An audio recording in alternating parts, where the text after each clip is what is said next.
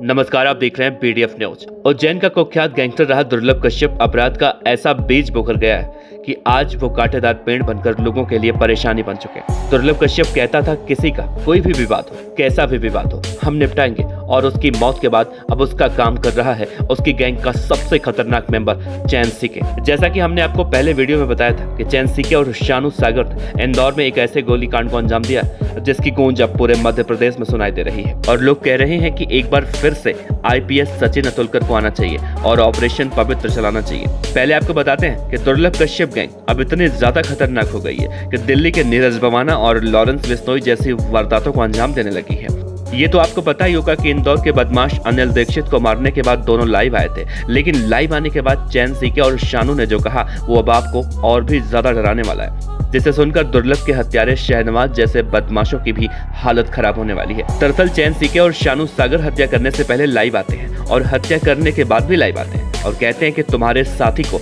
डेढ़ सौ रुपए का दाना खर्च करके ढेर कर दिया।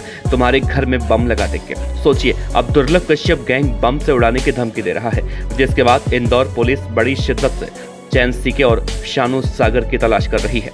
फ़िलहाल जिस बदमाश अनिल दीक्षित को गोली मारी गई थी, उसे बुधवार रात मृत घोषित कर दिया गया। हत्या के मामले में उज्जैन और मल्हारगंज इलाके के बदमाशों को पुलिस ने आरोपी बनाया, लेकिन पुलिस को अभी आरोपी मिले नहीं। गोली मारकर हत्या करने के मामले में पुलिस शानू सागर, चैन सीके, राजेश चौहान और अन्य कई लोगों पर केस दर्ज किया लेकिन उनकी गिरफ्तारी अभी नहीं हो पाई है। अनिल दीक्षित, जो की बांग दड़ा अपने साथी संजय खानविलकर, जितेंद्र यादव के साथ वहाँ पर पहुँचा था वहाँ कार से आए बदमाशों ने सिर में नज़दीक से गोली मारी। अनिल को गंभीर हालत में देखते हुए पहले उसे निजी अस्पताल ले जाया गया, फिर बुधवार को उसे एम अस्पताल में दाखिला कराया गया। गोली उसके सिर में अटके हुए थे, जिसकी वजह से ब्रेथ डेथ हुई है और रात को उसकी मौत घोषित कर दी गई। दिन भर एम अस्पताल में मजमा लगा रहा, जिस, जिसकी वजह से अतिरिक्त पुलिस फोर्स भी तैनात करना पड़ा था और इन बदमाशों की गिरफ्तारी के लिए तीन टीमें अब तक बनाई गई हैं, लेकिन अभी तक वो पुलिस के हाथ नहीं आए हैं। लेकिन इस हत्याकांड को देखकर उज्जैन पुलिस को भी अब सतर्क रहने की ज़रूरत है, क्योंकि इन्हीं दो बदमाशों ने सोशल मीडिया पर दुर्लभ कश्यप के हत्यारे शहनवाज को भी जान से मारने की धमकी देते हुए कहा था कि शरीर में इतना छेद करेंगे कि कंफ्यूज हो जाओगे।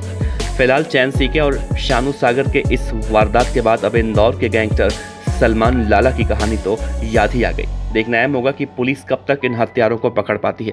फ़िलहाल आप बने रहिए इस पूरे मामले में, हम आपको पल पल की अपडेट देते रहेंगे। आपका बहुत बहुत शुक्रिया जय श्री महाकाल।